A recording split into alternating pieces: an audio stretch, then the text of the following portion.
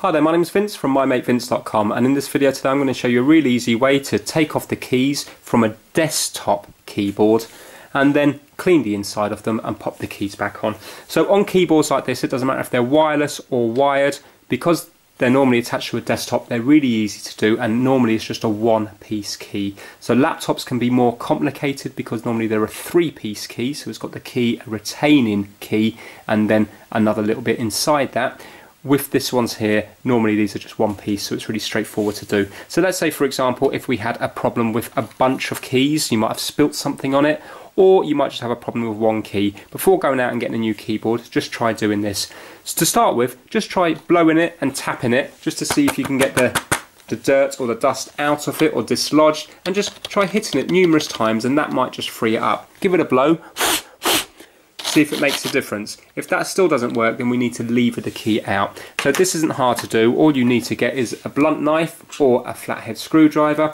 And let's say now if we had a problem with uh, a bunch of keys here, or just the J, then I'm just going to lever it out. Now, if you've got a bunch of keys and you need to lever out a lot of them, take a picture of it. So get your phone and take a picture of the keyboard because there's a chance that you might forget what key goes where. Either that or just write the keys down and it will save you a headache when you've put them back together having to take them out and trying to swap them again. So basically let's say if we did have a problem with this J here all I need to do is get the knife underneath it and then just lever it out and just pop it out. What I would say is when you're doing this, just make sure it's disconnected. So this is just a, a wireless keyboard, so just make sure it's in the off position. If you've got a wired keyboard, just unplug the USB cable from your PC when you're doing it. Now you can see how easy that came off, it just popped off. And then what you do is you get some this is the UK, so this is called Surgical Spirit. If you're from America, it will probably be called rubbing alcohol. Good stuff about this is it cleans it and then it just evaporates off after a couple of minutes. So you don't have to douse it in it, just put a little bit of Surgical Spirit in the lid and uh, get your Q-tip and just put it in a bit of Surgical Spirit and then what you need to do is just clean inside. So clean all around in here and hopefully that will get rid of any stickiness or grime or dirt that's gone in there. And also give it a little clean inside as well because inside here is where the actual key moves up and down so it could be sticky in there as well. So give that a clean and then you get your key. And again this shaft here just give it a clean around the edge there.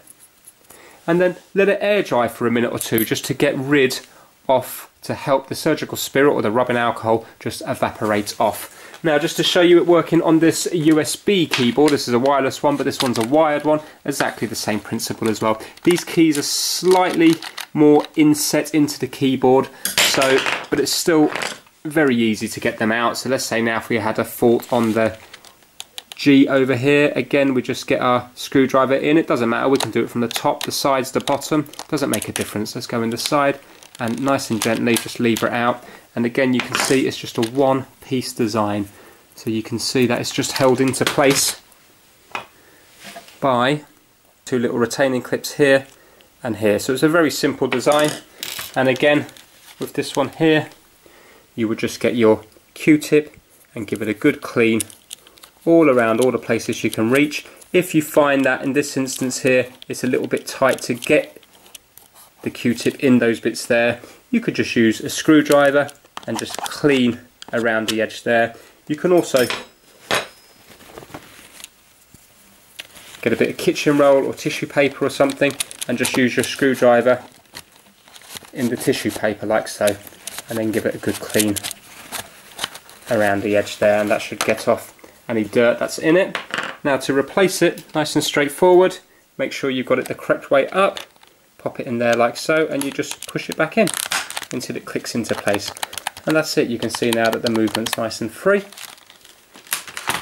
Right so on this one here hopefully it's all evaporated off by now. I can still just see a slight residue just down the bottom there. So what you can do is you can just get a dry q-tip and just get rid of the last little bits of rubbing alcohol.